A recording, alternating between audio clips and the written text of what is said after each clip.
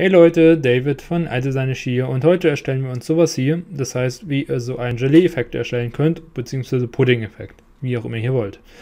Das heißt, wir nehmen uns unser Spline-Werkzeug, erstmal eine Blume erstellen. Die Blume machen wir, ähm, also auf die Position, die Ebene hier, machen wir auf XZ, damit sie auf dem Boden liegt.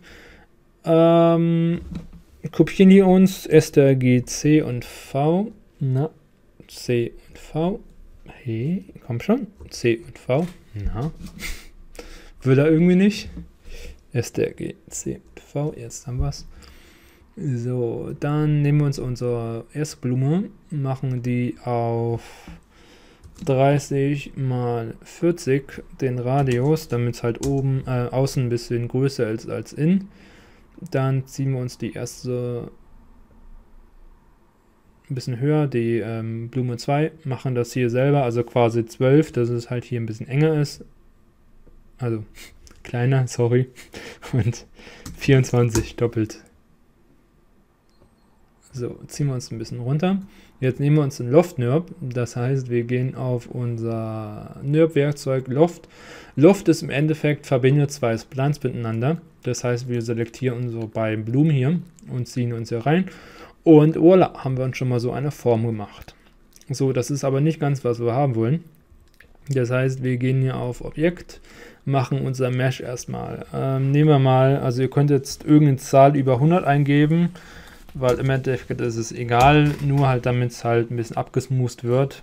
Ihr könnt auch 100 nehmen. So, hier machen wir mal 50. Ich erkläre euch das gleich. Ihr seht noch nichts, aber macht es einfach. Und ähm, ja, dann gehen wir auf Deckflächen, weil wir müssen oben, sieht es natürlich momentan ein bisschen komisch aus. Heißt, wir gehen auf Deckflächenrundungen und gehen hier auf Start auf 5 und voilà, haben wir so eine schöne Form. So, jetzt wollen wir unten, dass es natürlich auch ein bisschen ähm, ja, smoother wird.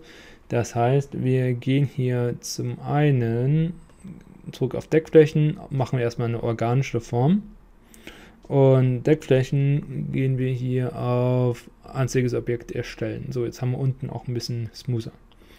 So, jetzt machen wir unseren Wackeleffekt erstmal. Heißt, ihr könnt jetzt im Endeffekt nehmen, was ihr wollt. Also ihr könnt es ähm, runterfallen lassen, irgendwo Keyframe.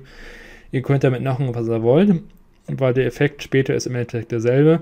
Nur der Einfachheit halber mache ich mir jetzt einen Tag hier rein und zwar ähm, rechte Maustaste Cinema 4D Text auf Vibrieren. Gehe auf ähm, Position aktivieren und wenn ich hier Play drücke, dann wackelt er einfach hin und her. Aber nur für Anschauungszwecke. Ich mache mir jetzt trotzdem erstmal einen Boden, damit es irgendwie nach überhaupt irgendwas aussieht. So. Und denn wenn ich jetzt auf den Tag gehe, weil wenn ich das Play mache, ist mir das ein bisschen zu stark. Das heißt, ich kann mir hier bei Fre äh, Frequenz mache ich hier einfach mal 1 rein, die Hälfte.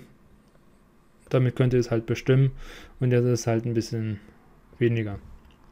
So, jetzt machen wir unseren, unseren Wackelpudding-Effekt, nenne ich es mal. Und zwar, wir gehen auf Luft gehen wir erstmal auf C, weil bisher war ja ein Objekt und jetzt können wir quasi alle Polygone selbst bearbeiten. Das heißt, wir gehen hier auf Loft, gehen hier dann auf unser Deformer-Tool und nehmen uns Nachfedern. Das Nachfedern packen wir unterhalb des Lofts. So theoretisch, wenn ihr das als Play macht, der Effekt ist eigentlich aktiviert. Das heißt, theoretisch, wenn ihr irgendeine Kraft dahinter habt, dann ähm, wackelt er auch schon. Bei mir ist es halt so, weil ich habe hier meinen Tag genommen, ähm, das heißt, der Tag, der hat ja alles als Effekt, hier das ganze Objekt, das heißt, See tut ihr deswegen nichts, aber im Endeffekt, der ist trotzdem aktiviert. So, in meinem Fall allerdings würde ich das halt, ähm, dass es, ja, sage ich mal, oben anders wackelt als unten. Deswegen gehe ich mittlere Maustaste auf die rechte Ansicht oder linke ist eigentlich wurscht.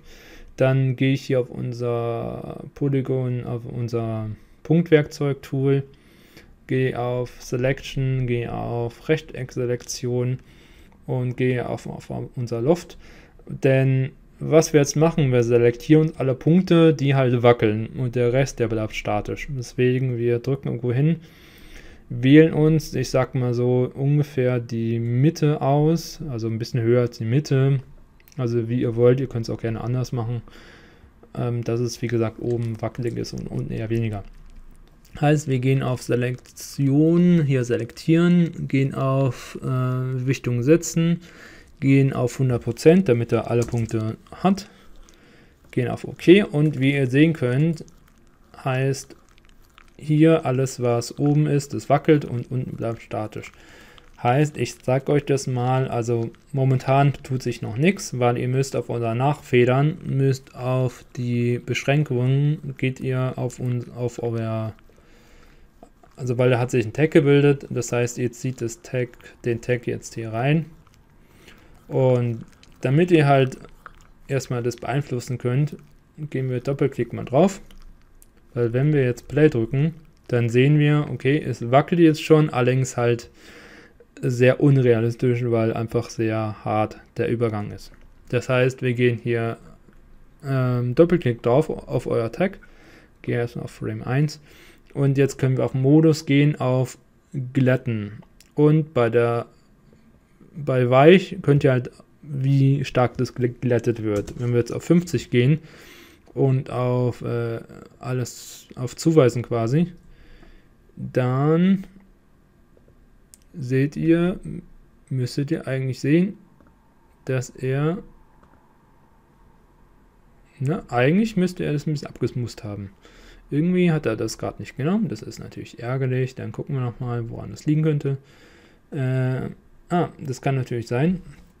Machen wir das mal raus, dass er das natürlich erstmal updaten muss.